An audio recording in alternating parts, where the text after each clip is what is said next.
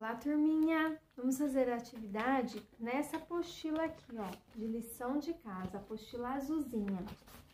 Aí vocês vão para a página 5, que tá escrito assim: contorne a vogal com giz. Então, vocês vão pegar o giz de cera aí e contornar a vogal A, tá bom? Aqui vocês vão treinar a vogal A.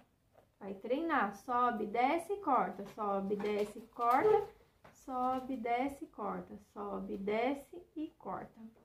E aqui, procure duas imagens que iniciam com a vogal A e colhe aqui. Então, vocês vão procurar duas imagens de qualquer coisa, pode ser de animal, pode ser de objeto, qualquer coisinha e colocar aqui, tá bom? Colar aqui. O que vocês acharam?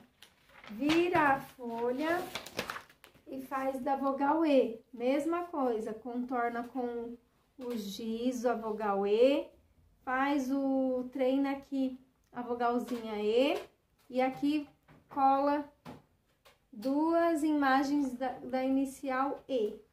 Combinado? Então, pode fazer essa lição de casa aí, que depois eu quero ver, hein? Como é que ficou, se ficou bem bonito e no capricho.